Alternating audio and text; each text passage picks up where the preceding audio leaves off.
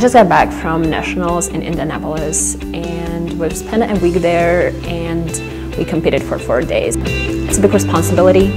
We've been working very hard. The entire season goes to that point when you when you're going there and you're competing and you are delivering. You're delivering everything you've been working on for the entire year. But also we just had fun. We've done everything that we always did in practice. It's the same length of the pool. It's different environment, but the thing that we had to do was pretty much the same.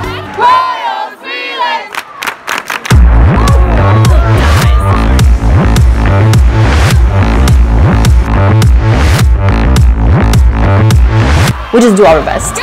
We swim for the team, we score for the team, we cheer for the team, and everything that we do, we do it together. We were protecting what we've earned the past four years, and we won our fifth national championship, and I'm pretty sure that the future holds even more.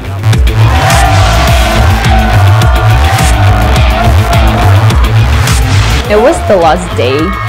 We had the guys swimming their personal events beforehand and it was the last event and everyone was already tired and they beat the national record by like three seconds. Everyone was yelling, everyone was going crazy on that last meters and when they beat that record, when everyone looked at the score, we were we couldn't believe our eyes. It was it was insane. I wish I could believe that relay again.